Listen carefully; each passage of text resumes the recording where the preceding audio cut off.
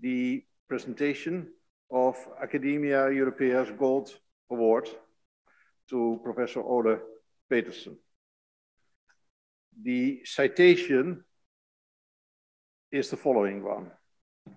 This award is only rarely given and is made to those members and non-members of the academia and to organizations in recognition of the contribution made to European science through inspiration, public support, management expertise, or by financial means. And it is a great pleasure for me to provide today the Laudatio. Ole, you have served our Academy for very many decades. You have been with the Academy right from its beginning. You were on the picture that I showed earlier today of the founding event in 1988. Subsequently, you have served in numerous functions our Academy. A section chair, physiology, as council member, and today board member. You have organized two annual conferences. First one in Liverpool, second one in Cardiff. You have been coordinator of a series of workshops of your section in Heidelberg at the Tschira Foundation. You have been chair of the nomination committee for a very long time. You have been the architect of the class structure. And all of us have taken notice of the class reports given earlier this morning. And it's very clear that uh, the uh, creation of the classes has been a game changer for our academy. You heard the enthusiastic reports of the class chairs, and uh, it's obvious from the response of the, uh, of the new members how well this has been received and that basically this works. You have also uh, initiated the Cardiff Hub and you have served as academic director till the present day. And the Cardiff Hub plays a crucial role in our work in the scientific advice mechanism. It is the functioning of the Cardiff Hub that has given us a lot of credit uh, by our academic partners, the partner networks in SAPEA, but also by the European Commission. And uh, here, clearly, again, you made the difference. You have served as vice president of Academia Europaea, and uh, that made again the difference. And I have been very privileged that you were serving as vice president at the time that I joined the team as president. And uh, for me, really, it made a difference. It has been a true pleasure and a true privilege. While maintaining a top science career, you have done so much for the scientific community and for our academia in particular over 30 years. So in that sense, you evidently serve as a role model for our members. It is therefore with great pleasure, and uh, it's also truly an honor for me that I can present you today with the Gold Award. So I would like now to hand over the award and to ask you to come forward to stage.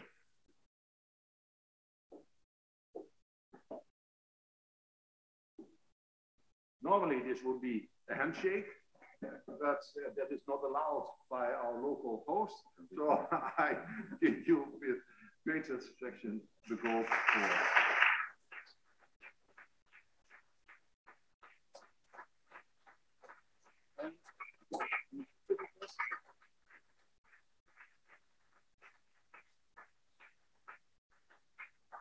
and the official photographer has told us to stay for a little while.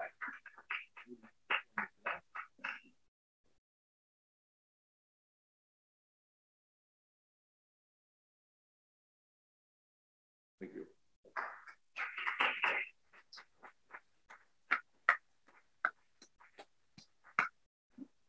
I would now like to invite Professor Olaf Petersen to present his gold medal lecture. Olaf, floor is yours.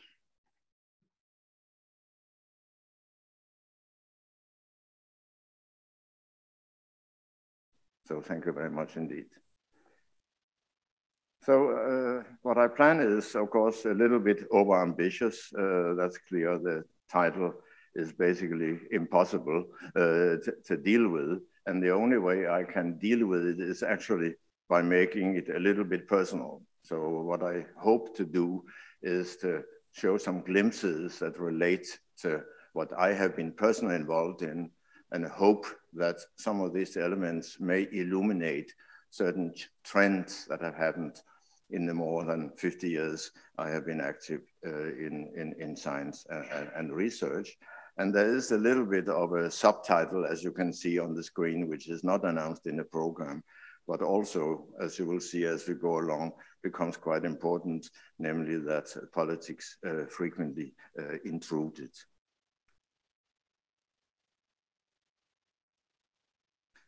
Now, as uh, Sierd very kindly mentioned and showed the picture this morning, uh, I was indeed uh, lucky enough that our inaugural president, uh, Sir Arnold Burgen, uh, invited me to be one of the 100 uh, foundation members and uh, even at a stage when I was uh, relatively uh, young. And I guess that's a reason that it is still possible for me to stand here and, and start here that I was honored the uh, youngest, possibly the youngest uh, foundation member. But it has indeed, as uh, says, I have had the fortune to uh, be involved in very many activities of Academia Europaea, and I have served all presidents so far but uh, nobody has been closer to me as a president uh, than Sierd. That, that's very clear. And this uh, period as vice president has been a particularly remarkable one. Now, Academia Europaea, and Sierd also mentioned that, is a young organization. And it's young when you compare it to some of the great uh, national academies of, of, Europe that I show on the screen. Uh, they are uh, sometimes even 17th century Croatians or 18th century Croatians. And so with our 30 plus years, we are still, uh, we are still very young. Now at the foundation meeting in Cambridge in 1988, uh, where I, I was present, the main discussion was actually whether Academia Europaea should be a real pan-European academy in Charles de Gaulle's definition, stretching from the Atlantic to the rural uh, uh, Ural Mountains in Russia, or whether it should be a creation that was specifically linked to what was at that time still the European Economic Community, which a few years later, of course, became the European Union. And so that was the main debate at the foundation meeting. And the decision was made that actually Academia Europaea should not be limited to what would eventually become the European Union, but actually should be a true pan-European uh, academy. So this, I think, was probably the right decision, but it has to be said that there was a price to be paid for it. And for many years, it was quite clear that uh, when the European Commission was established uh, a few years later, the Commission did not necessarily see uh, Academia Europaea as the natural body to provide uh, scientific advice for policy. It turned out that there were very many actors in Europe who wanted to do that. And actually, uh, this particular role of Academia Europaea, which was very much in the mind of Arnold Burgen when he uh, basically created Academia Europaea, actually only came into force during Sierd's presidency. And this is the very great achievement of, of, of Sierd, actually, that he managed finally to actually fulfill the original vision of the founders of Academia Europaea. Sierd has already talked uh, a bit about uh, our involvement in SAPEA, standing for Science Advice for Policy by European Academies. And this uh, started really our involvement there with, when Sierd became president of Academia Europaea. The critical meeting, uh, we can see here in the lower left part of the picture, uh, was held at the Royal Netherlands Academy of Arts and Sciences, obviously uh, home ground. And it was at that meeting in February 2016 uh, that actually the whole framework for SAPEA was established. It was also at that meeting that the name SAPEA uh, came up and which has actually stood us in, in, in, in, very good uh, state we have to remember now, and this is uh, particularly also important for me because this is one of the reasons that I feel very strongly that this gold medal award is uh, really, uh, in a sense, uh, I don't really uh, deserve that because uh, the architect, of course, of the uh, SAPEA and the whole scientific advice mechanism was Robert Jan Smits. And you see Robert uh, here in the picture uh, in the lower right part uh, of, of, the picture, uh, standing next to Eva Contarossi, who happily is in the uh, audience here today. So uh, Robert Jan Smits is a true visionary and he received the, was the last individual to receive the gold medal uh, from Academia Europaea. So in that sense, it is uh, truly humbling for me here uh, to receive this award because he was uh, is the great uh, European visionary, not only the architect of the scientific advice mechanism, the architect of the ERC, and the architect, as we'll come to later, of the Plan S for open access publishing. It's really a remarkable uh, achievement of, of, of a bureaucrat. Now, Sierd made uh, the, for me, very important decision uh, right at the very beginning of his presidency that the major work of Academia Europaea for the uh, scientific advice mechanisms should be coordinated by the uh, Cardiff uh, uh, Knowledge Hub. And I had the good uh, fortune to be able to attract uh, as pub manager uh, Louise Edwards, whose picture is seen there to the left, uh, who has been a tremendous uh, force in driving forward uh, our work for, for, for SAPEA and has worked literally day and night for the Academy and for SAPEA. So I think uh, we, uh, and I will not talk too much more about SAPEA because uh, already gave an excellent introduction to that earlier today. But I think with our involvement in SAPEA, which has been uh, also, as Sierd mentioned, quite intensive and considerably, you know, quantitatively much more extensive perhaps than many other organizations would have expected, uh, Academia Europaea has uh, entered a kind of center stage uh, in, in, in Europe and uh, we are, of course, uh, very happy that this mechanism is continuing. Uh, as Sierd also said that the present funding round will end at the end of April 22, uh, and we will then start on, on, on a new period. And we are particularly happy, of course, that in the new period, the uh, Young Academy will join uh, this mechanism. The Cardiff Hub has been also very closely in collaboration, and we have organized many events with uh, the Young Academy and look forward to continue to do so. So at this point, I will shift gears uh, quite uh, sharply and uh, become a little bit more personal and go back in my life uh, very early on actually and think about European science development in a rather broad context. So this is a picture of uh, Budapest, the way it looked in the summer of 1948.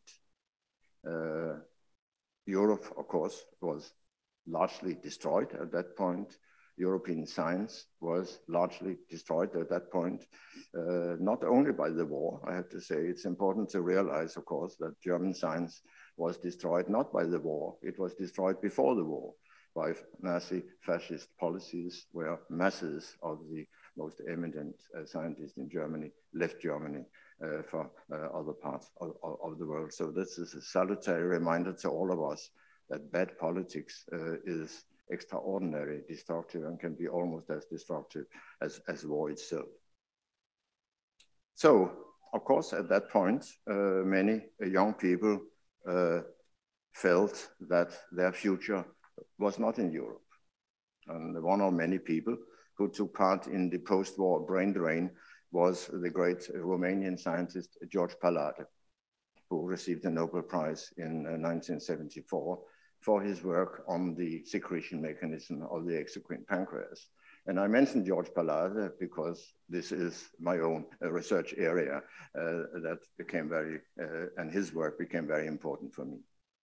Now, George, uh, in his uh, Nobel Prize lecture, which as usual is published in, in Science, given the citation there on this slide, and to my great surprise, actually, but I can't deny delight, referred in his Nobel Prize lecture to one of my papers, uh, reference 79, in the uh, Science uh, article. And he wrote there, in the case of the pancreatic exocrine cell, stimulation definitely leads to membrane depolarization. And he referred to a paper I published in the Journal of Physiology in 1973.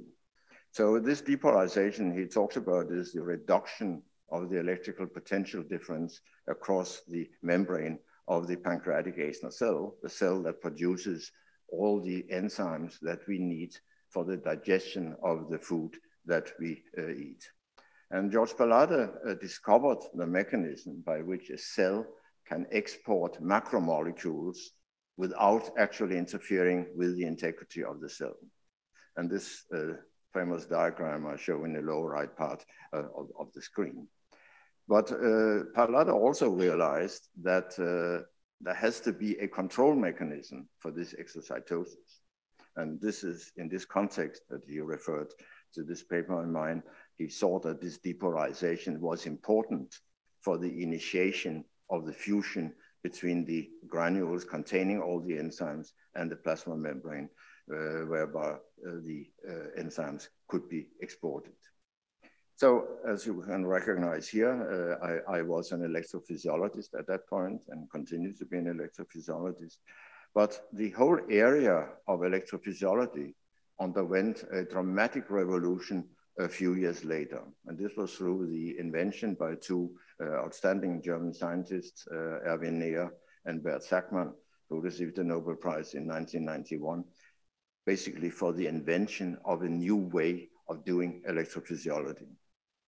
And uh, I had the extraordinary luck to visit the Max Planck Institute for Göttingen, where this uh, work had taken place in the autumn of 1980, actually only a few weeks after the publication in Nature of a key paper by uh, Erwin Neher. Uh, Erwin had actually discovered the so-called GigaSeal, that is the extraordinary interaction that occurs between the tip of a pipette with particular properties. You can see it in the uh, lower uh, left part of the diagram here. So you have the pipette here, you have the cell, and you can get a extraordinary strong physical chemical interaction between the tip of this glass pipette and the surface plasma membrane. This is a electrical seal in the gigaohm range. So basically you physically isolate a tiny, tiny bit of membrane, a few square micrometer. And by this way, you can actually record directly the currents that flow through single uh, protein channels in the membrane. And I show here a recording from my 1982 paper. So this is actually uh, was an extraordinary important step because what actually happened is that electrophysiology was a way of doing direct molecular biology. Here we see directly the uh, closed state of the channel, then it opens up, closes again, it's closed, it opens again, closes again. So this is the way uh, these channel proteins work. They fluctuate in different configurations and only a few configurations correspond to the open state. Now, Neher and Bert Sakmann uh, are both neuroscientists and they envisaged, of course, that their method would essentially be a major tool, and that turned out to be the case for neuroscientists, because this is where obvious functions of ion channels are, are key, I mean, we cannot do anything, uh, move anything, sense anything without uh, ion channels uh, being act activated or deactivated. However, of course, I was not a neuroscientist and I am not a neuroscientist and I was interested in the types of cells that George Palade uh, had investigated, epithelial cells, where it is not nearly so obvious whether ion channels are necessarily uh, so important. So actually, my 1982 paper, which I had uh, the privilege also of uh, presenting at the very first meeting, uh, patch clamp meeting at the EMBO course in, in Erice in Sicily in 1982, was actually the first direct demonstration that ion channels existed in epithelial cells. And I still have a, uh, uh, really uh, wonderful gift that I had a very, very nice letter from Bert Sakmann after I congratulated him on the Nobel Prize, where he expressed the view that for him, it was actually a very important step to see that ion channels were not only present in the nerve and muscle cells, but that they actually were of universal uh, significance. Now, nevertheless, as I said before, uh, it was to a very large extent and still remains today the major tool for neuroscientists. And interestingly enough, this method that was fully described in 1981 is still today the state-of-the-art technique for neuroscientists. It hasn't changed anything, actually. The technique is there. And uh, neuroscientists have made uh, phenomenal progress uh, in, in, in, recent years. And uh, one such case, which is obviously uh, close to me uh, family-wise, uh, was made by my, my son, Carl, who in 2008 published a key paper in Nature, which Nature actually thought was so important that they also published an interview with him in, in the same issue. And what he had achieved was actually to demonstrate that you could make concurrent recordings of uh, with a patch clamp, patch clamp technique from neighboring neurons in awake behaving animals. So this is actually real physiology in real time and not work on isolated cells. Now, a few years later, uh, there was a quite different revolution, a political revolution. Uh, 1989, uh, in my view, could be regarded as an annus mirabilis. It's most certainly the most profound change of Europe's political landscape since the Second World War. It also so happened to be uh, the year of my very first visit to the uh, Soviet Union.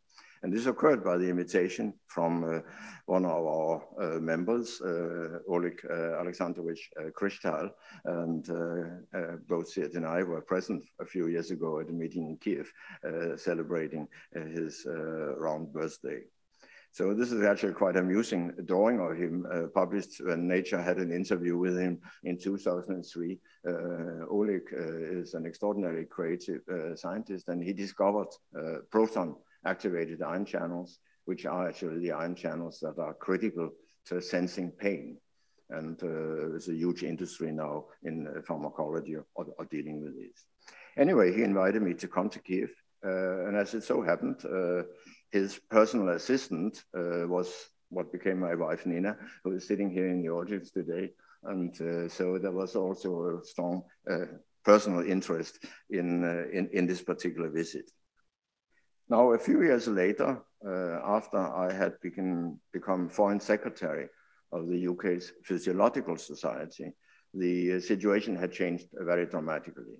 And so on my second visit to Kiev, which was in 1993, of course, the Soviet Union had disappeared. Uh, Ukraine had become an individual country.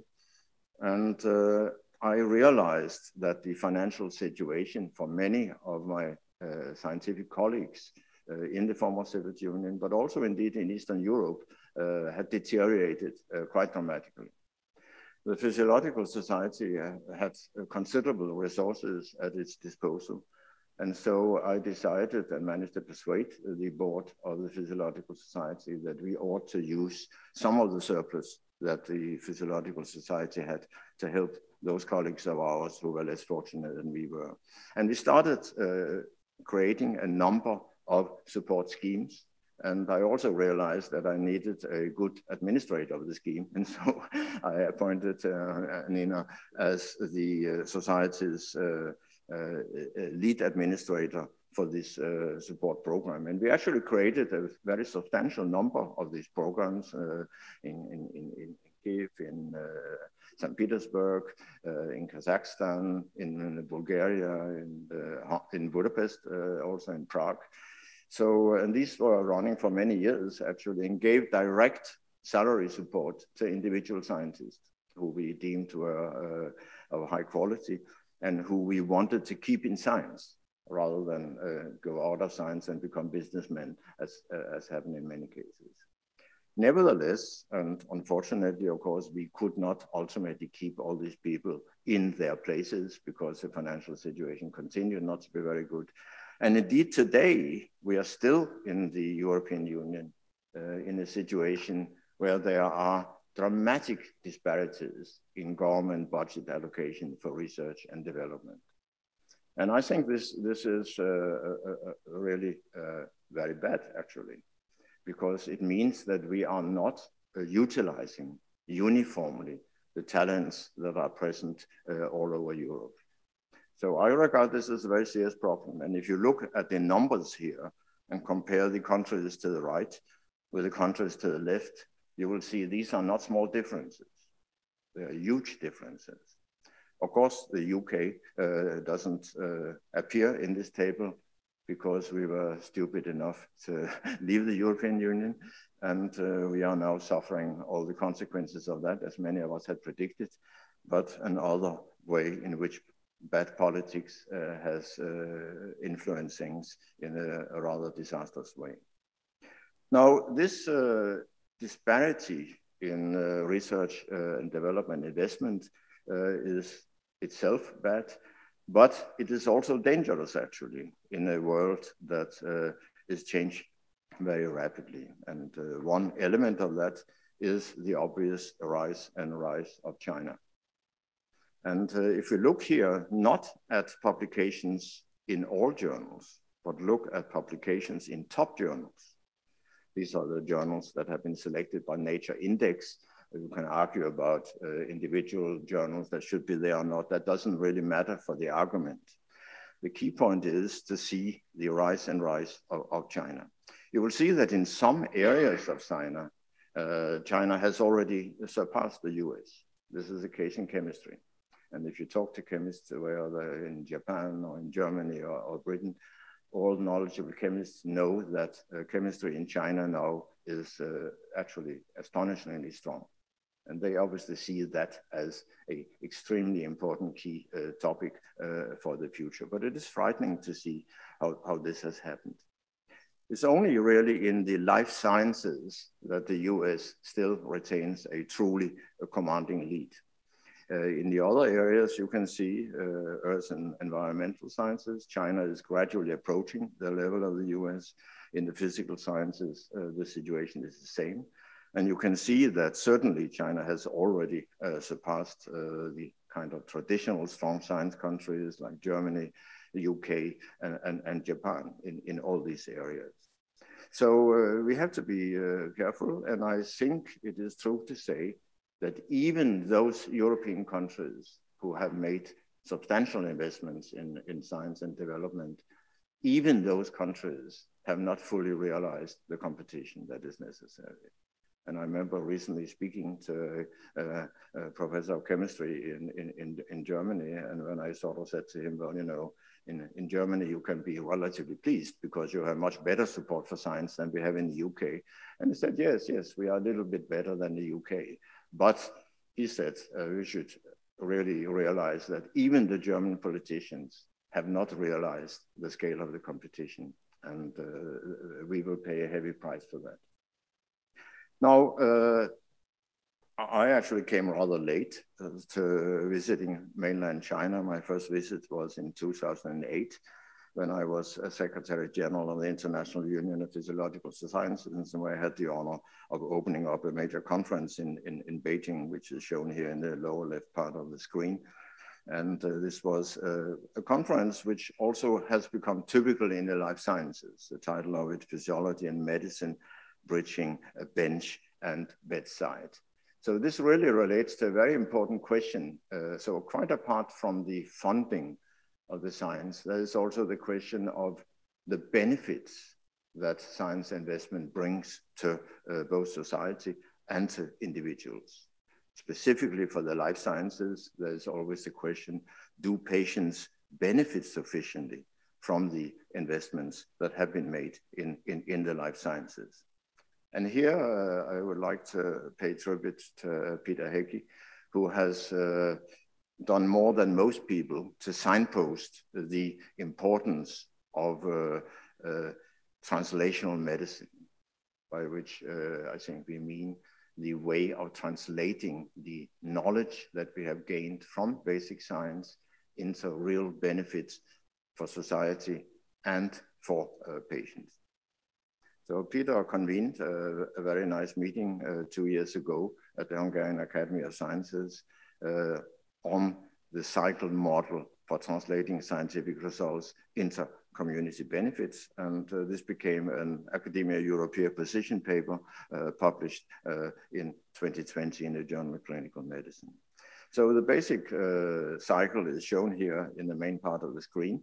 Uh, you have problems with healthcare. There are certain uh, treatments that are not as effective as they should be. There are certain diseases that can't be treated at all. So there are questions. These questions uh, obviously should be taken up by basic scientists, by applied scientists, by clinical scientists, and that then produces knowledge. And this knowledge, of course, has to be published. This has to be published in the scientific peer-reviewed literature, but that's not enough. Uh, a lot of different policymakers, funders, and uh, communities have to be informed about this progress so that it actually can be implemented. And ultimately, the people who actually provide the treatment, the clinical practitioners, have to understand the progress in order that there is real benefit. When you then improve uh, the treatments, then of course new questions come up because it turns out maybe you could do even better. So new questions arise and the whole cycle uh, starts repeating its, itself again. So this is a tremendously important, uh, important field now because uh, there certainly has to be a very strong place for pure discovery science. There's no question about that. But society has a right to expect that its investments in, in, in, in, discovery science actually also results in real benefits to the community and to individuals. Now, in my own research work, uh, we already uh, many years ago started to think about uh, not only the basic physiology of how things work, but also what happens in uh, pathology. And in the paper in 93, we uh, uh, showed that whereas the normal physiological signals that also George Palade was thinking about in his Nobel Prize lecture, these signals are actually localized. So we have small changes in calcium in certain parts of the cell that are important for the strategic control of secretion. However, pathological stimuli that result in a disease, they result in a dramatic global elevation of calcium, which is signaled by the red color uh, in this screen, and that actually is, uh, is pathology. We worked obviously quite a lot on that uh, for many years and uh, understood uh, gradually that these uh, global calcium signals that actually kill the cells if they're maintained for any length of time and result in the disease acute pancreatitis, where the pancreas digests itself and its surrounding and uh, is a potentially very dangerous disease. It's also a major uh, risk factor for pancreatic cancer, which probably is the most uh, unpleasant way uh, to die. So we understood that there are some special calcium channels in the membrane of the cell that become overactivated. And we also thought that there were some small molecule uh, chemical uh, agents that could actually partially block that channel. And this is uh, shown here uh, in, in, in, this slide where uh, a compound can markedly reduce the current flowing through channels uh, in the membrane and also dramatically reduce the degree of cell death introduced by agents that will provide stimulus for creating this disease process. And very recently, to be completely up to date, uh, we have expanded this uh, theory that it is not only the secretory cell itself that George Palade worked on, uh, but also other neighboring cells that all have exactly the same calcium channel.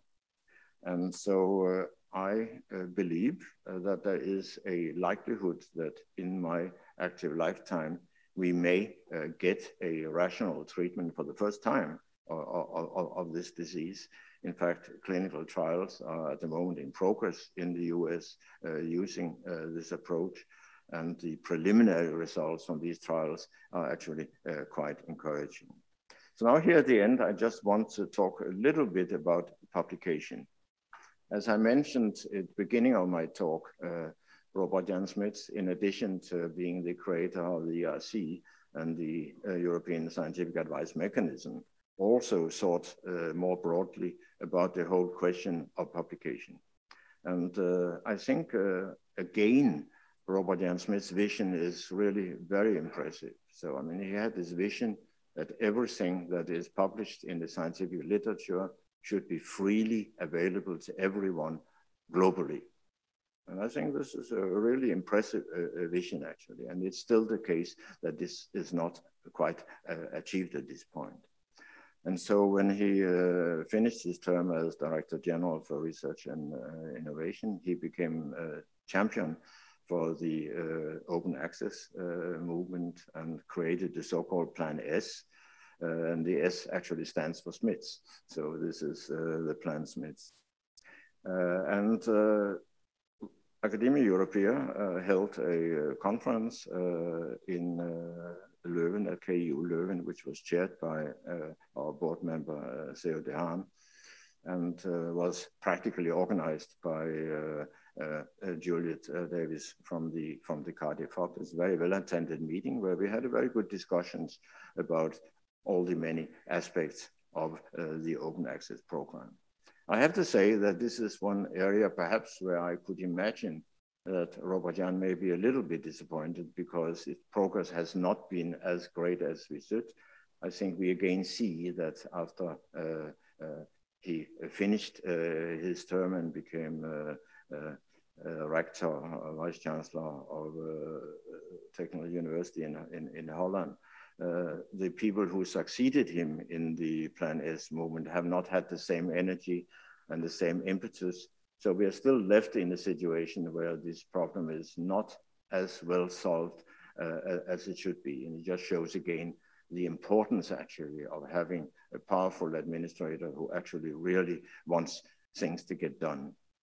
I also became personally bit, and actually uh, one of the reasons I became enthusiastic was actually the dinner that was held after uh, uh, Robert Jan Smits uh, gave the gold medal lecture, and uh, I was lucky enough to sit next to him. And uh, he was so enthusiastic about this open access movement that it also infected me actually. So when just by coincidence, I was shortly after that approached by the American Physiological Society, asking me whether I would be interested in becoming the editor-in-chief of a new journal complete open access journal that they plan to create.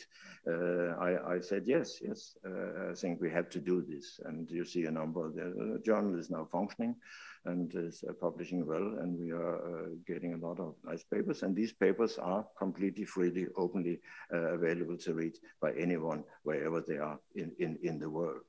There's still a huge problem, of course, because publication is not free. It costs money and somebody has to pay. And we still today, I think, have not yet achieved the kind of final stage where we have a good, equitable way of making sure that this is done in a fair and uh, proper way. So I have come to the end of my talk. I want to end by once more uh, emphasizing my gratitude at having received the gold medal award and really thank, first of all, Sierd personally very strongly, but also the AE board. And uh, I has been, uh, as I said, an extraordinary experience uh, to, to, work with you over these years and Academia Europaea owe you an enormous debt for what you have done for the Academy. So I will end here.